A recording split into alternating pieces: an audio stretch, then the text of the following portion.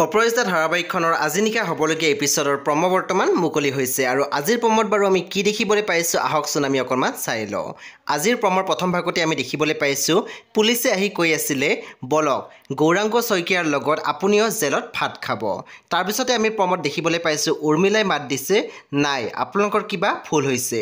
তাৰপিছতে আমি প্ৰমত দেখিবলৈ পাইছোঁ ককায়েকে মাত দিছে অঁ মই অপৰাজিতাৰ পৰিয়ালক বৰবাদ কৰি ভিক্ষাৰী কৰি মোৰ দেউতাৰ মৃত্যুৰ ৰিভেঞ্চ লৈছোঁ।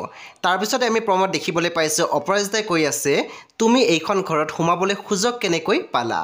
তাৰপিছতে আমি প্ৰমত দেখিবলৈ পাইছোঁ শান্তানুৱে ফোন কৰি কৈ আছিলে আমাৰ মাজত স্বামী স্ত্ৰীৰ দৰে কোনো সম্পৰ্কই নাছিল। গতিকে তুমি মোক পাহৰি নতুনকৈ জীৱনটো আৰম্ভ কৰা।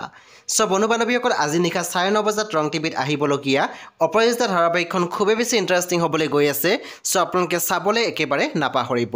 পৰৱৰ্তী আপডেটৰ বাবে আপোনালোকে আমাৰ চেনেলটো ছাবস্ক্ৰাইব কৰি কাষত থকা বেল একেটো টিপি দিবলৈ একেবাৰে নাপাহৰিব।